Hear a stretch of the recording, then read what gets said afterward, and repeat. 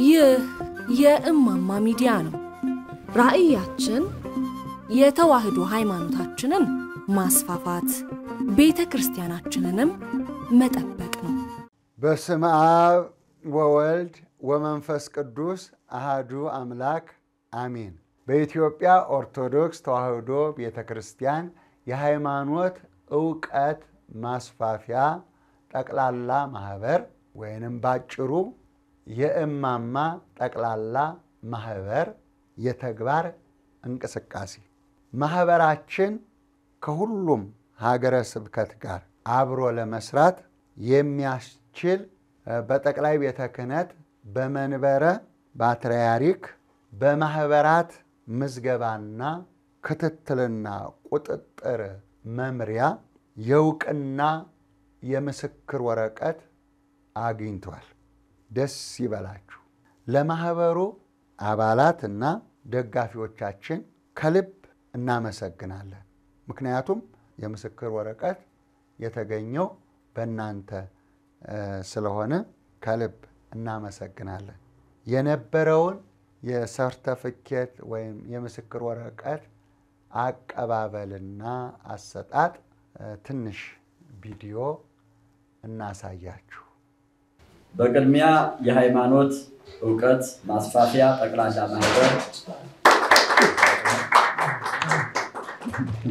ቅዱስ ጳውሎስ ስለማይነገር ስጦታው እግዚአብሔር ይመስገን ብሏል እና ይህንን ለማየት ያበቃኝን እግዚአብሔርን አመሰግነዋለሁ። ብዙ ጊዜ ስመኝ ነበረ። ለብፁዓን አባቶችም ብዙ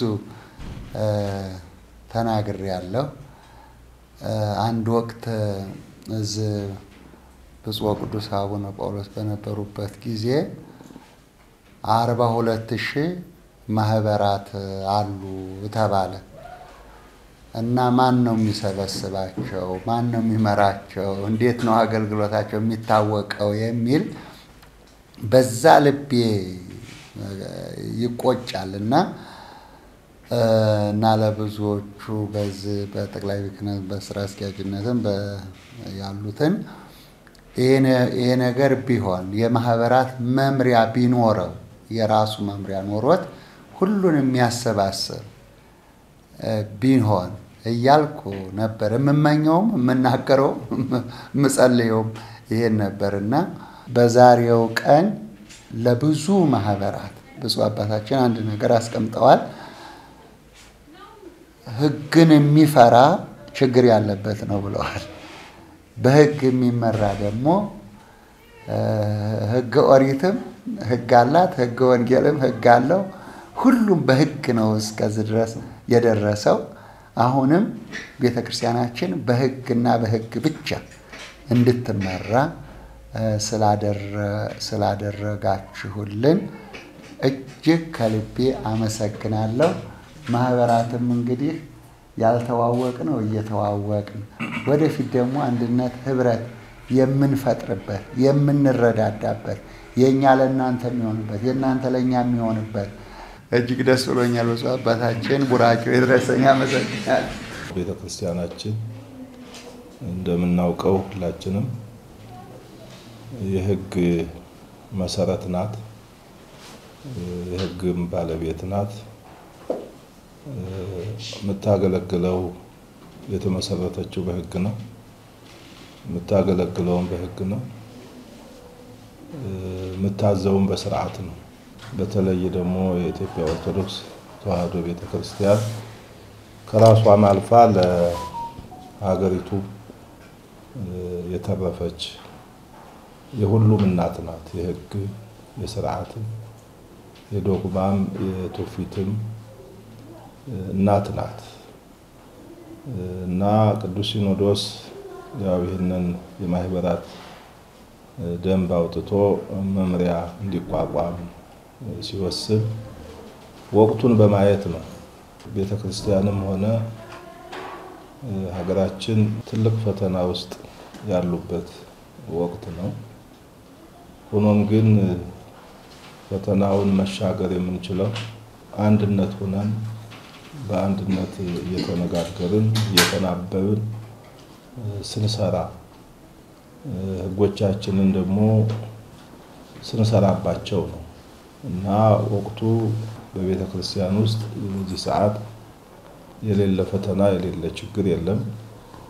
እንግዲህ ያንን ችግር ለመቅረፍ ነው አንዱ የኛ የሆነውንና ያልሆነውን ለመለየት ብሎም ልጆቻችን በማወቅም ሆነ ባለማወቅ ፈተና ውስጥ እንዳይወድቁ የቤተ ክርስቲያን ክብሯ እንዳይነካ ቤተ ክርስቲያናችን ዘመን ተሻጋሪ እንድትሆን ለማድረግ ልጆቿንም ለመሰብሰብ እንድትችል ይህንን መተዳደሪያ ደንብ ቅዱስ ሲኖዶስ አውጥቶ ሰጥቶናል። ስለዚህ በዚህ ሕግ ማህበራት ይሰራሉ፣ በዚህ ሕግ ይተዳደራሉ። ምክንያቱም ቤተ ክርስቲያን እውቅና ካልሰጠች ለማህበራቱም ፈተና ነው። እውቅናችን ያው ክርስትናችን ነው። በአርባ ቀን በሰማንያ ቀን ሁላችንም ተጠምቀናል። ይሄ ቤተክርስቲያን ታውቀናለች። ግን በአንድ ላይ ተሰባስቦ ለመስራት በማህበር ተደራጅቶ ለመኖር ደግሞ ህግ ስላስፈለገ ነው። ቅዱስ ሲኖዶስ ይህንን በማሰብ ጊዜውን በመዋጀት ያው ደንብና መመሪያ አውጥቷል። በዚህ መመሪያ እንድንተዳደር፣ እንድንመራ፣ እንድንመራ፣ እንድንሰራ፣ እንድናሰራ፣ እንድናገለግል፣ እንድንገለግል ቅዱስ ሲኖዶስ አዟል፣ ወስኗል። ስለዚህ ሶስቱም ማህበራት በተለይ አንጋፋው የሐዋርያት ጽርሐ ጽዮን አንድነት ኑሮ ነባር ማህበር ነው። በሀገራችንም ብቸኛ ነው ብቸኛ ነው። ትልቅ መንፈሳዊ አገልግሎትም ያገለገለ ለቤተክርስቲያኗም ትልቅ ጥቅም የሰጠ ማህበር ነው። አይታወቅም ማለት ሳይሆን ባለው እውቅና ሌላ ተጨማሪ እውቅና ነው ዛሬ የተሰጠው። ልናበረታታውም ልንደግፈውም የሚገባ ማህበር ነው። እንደ ሞዴልም በቤተክርስቲያኗ ሞዴል ሆኖም የምናየው ማህበር ቢኖር ይህ ማህበር ነው ብቻ እና ብቻ ነው በእኛ በኩል። ሌሎቻችሁም ያው የሃይማኖት እውቀት ማስፋፊያ የእውቀት ኳሃንም እንደዚሁ ከፍተኛ አገልግሎት የሰጠ ማህበር ነው። በገጠሪቱ ቤተክርስቲያንም አብያተ ክርስቲያናትን ከማነጽ ከማሳነጽ እንደዚሁም ገዳማትንም ጭምር በመርዳት ብዙ ስራ ሰርቷል። ኢትዮጵያዊ ጃንደረባም ያው ቅርብ ጊዜ የተመሰረተ ቢሆንም ነገር ግን ተስፋ ሰጪ የሆነ ነገር ይታይበታል። ስለዚህ ማበረታታት ያው ቤተክርስቲያን ጥሩ ለሚሰሩ ማበረታታትና ምስክርነት መስጠት ግዴታዋ ስለሆነ ነው። ሁላችሁም ልጆቻችን ብትሆኑ ያው ጣት ከጣት ይበልጣልና በዚያ ምክንያት እንግዲህ እንደ ጥንካሬያችን ነው ምስክርነትም ልናገኝ የምንችለው ሰርተን ጠንክረን እንደሰራ ነው በስራችን መጠን ስለሆነ ነው ይችን ለመመስከርና ለመናገር ያስቻለኝ። ዞሮ ዞሮ ግን እናንተ አርአያ ናችሁ። አሁን ሶስቱ ማህበራት ደንቡን አሟልታችሁ በደንቡ መሰረት ቤተክርስቲያናችን ያወጣቸውን ሕግ እንተገብራለን፣ በዛ እንመራለን፣ እንሰራለን ብላችሁ መምጣታችሁ ይሄ ለሌላው ትልቅ አርአያ ነው። ሕግ የሚወድ ሕጋዊ የሆነ ሰው ሕጋዊ ያልሆነ ደግሞ ሕግን የሚጠላል። ስለዚህ ሕግ የሚያስፈራውን ሕጋዊ ላልሆነ ነው። ሕጋዊ ለሆነ ሕግ አያስፈራም። ሕግ ዋስትና እና ስለዚህ ባለው ባሳያችሁት ሕጋዊ መንገድ ቤተክርስቲያናችሁን መንገድ ተጉዛችሁ ወደፊትም ለማገልገል በሕጉ መሰረት ለመስራት ባሳያችሁት ተሳትፎ ቅድሚያ መስፈርቱን አሟልታችሁ በመምጣታችሁ እጅግ አድርገን በቤተክርስቲያናችን ስም በመምሪያችን ስም እናመሰግናለን። ከሶስት ዓመት በኋላ ደግሞ ያው አንዴ ስለተመዘገባችሁ ያው እድሳት ነው የስራ አፈጻጸሙ እየታየ እየተመረመረ ያው እድሳት ይሰጣል። በመሀል ደግሞ በቀኖና ቤተክርስቲያን በዶግማው፣ በቀኖናው፣ በትውፊቱ፣ በስርዓቱ፣ በደንቦቹ የማይሄዱ ከሆነ የማይሄድ ፈቃድ ተሰጥቶት የማይሄድ ካለ ደግሞ ያው ቤተክርስቲያን ፈቃዷን ትመልሳለች፣ የሰጠችውን መልሳ ትወስዳለች። ስለዚህ ህግ የሚጠቅመን ቤተክርስቲያናችንን ለማስከበር ነው፣ ሌላ አይደለም። እምነታችንን ለማስከበር ነው።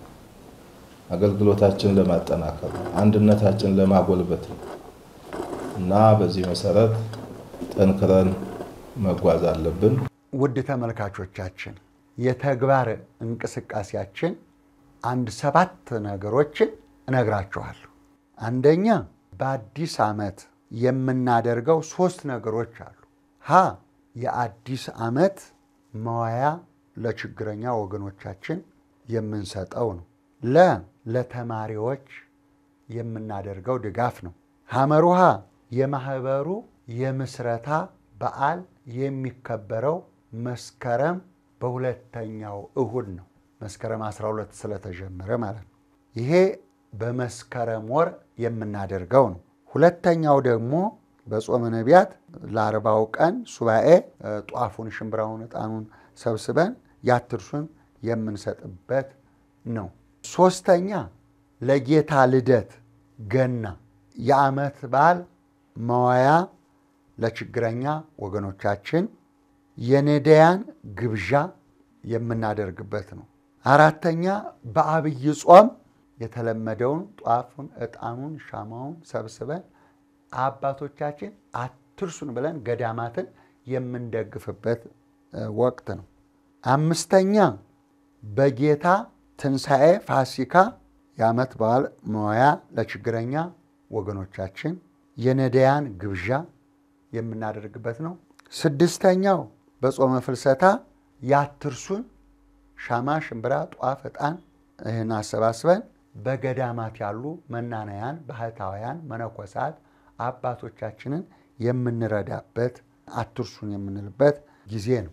እነኚህ ከመስከረም እስከ ነሐሴ ያሉት ወሮች ከእናንተ ጋራ በቀጥታ እየተነጋገር የምንሰራቸው ስራዎች ናቸው ማለት ነው። ሌላው ከዕለት እስከ ዕለት ከዓመት እስከ ዓመት የምንሰራቸው ደግሞ በመድረክ በየቤተ ክርስቲያኑ በገጠር በከተማ እየዞርን ማስተማር፣ በሚዲያ ቤተ ክርስቲያኑን ማስተዋወቅ፣ ገዳማቱን ማስተዋወቅ ነው። በዓለም አቀፍ ያላችሁ የተዋህዶ ልጆች ይህን ጩኸት እንድሰሙ፣ ይህን ጥሪ እንድሰሙ፣ እንድታዳምጡ፣ መልስ እንድሰጡ እፈልጋለሁ። እንግዲህ የችን ቤተ ክርስቲያን ለመርዳት የባንክ ቁጥራቸው ንግድ ባንክ በቀጥታ እንድታስገቡ ነው የምፈልገው። ስልካቸው ይኸው፣ ባንክ ቁጥራቸው ይኸው፣ ስሙ ይኸው። በቀጥታ የትም ዓለም ላይ ሆናችሁ ለገጠር ቤተ ክርስቲያን የምረዱ አላችሁ። ገጠሪቱ ይችናል። ከዚህ የበለጠ ደግሞ ገጠር ቤተ ክርስቲያን የለም። ስለ ትብብራችሁ ከልብ አመሰግናለሁ። እንደገና ደግሞ ለምዕመናን በየቤታቸው ቁጭ ብለው ወንጌል እንዲማሩ በኦርቶዶክስ ተዋሕዶ ቤተክርስቲያን ቴሌቪዥን ላይ ረቡዕ ማታና ሐሙስ ቀን እናስተምራለን። ክፍያ ያለው ድጋፍ ታደርጉልናላችሁ ማለት ነው።